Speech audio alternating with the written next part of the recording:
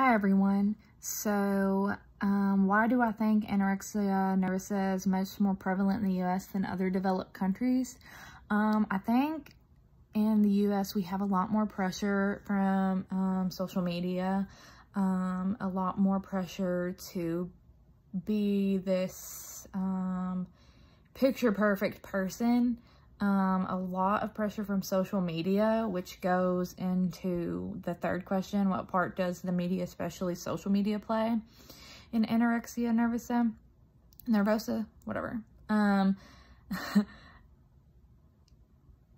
on social media, especially Instagram, um, and especially the, the, the explore page, it's like all models models with perfect, thin, perfect, thin bodies.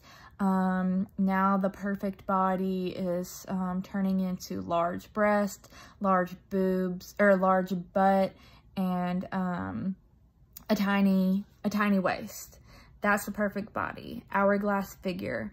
Um, so I think seeing that on social media over and over and over and how many likes um, a person gets from having a certain look really plays um, um, a big part in this um, diagnosis and disease. And I think that's why we see a, a, rise in children and adolescents who are diagnosed with this because um, children are beginning to get on social media platforms at a much younger age now because um, tablets, you know, iPads, cell phones are being given at a much younger age than when I was a child or um, my older siblings were children, you know.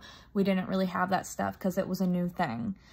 Um, but now it's much more um, known um, and um, used as um, for gifts, for ways to, so they don't sit in front of the TV, you know. So, I think um, that social media and children's access to social media really plays a big role in anorexia.